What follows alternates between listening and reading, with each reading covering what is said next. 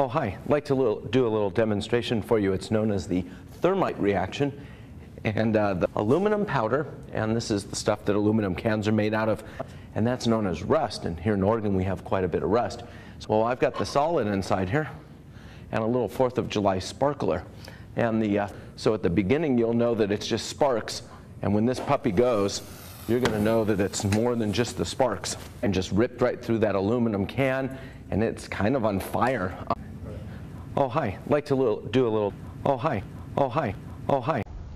Oh, hi.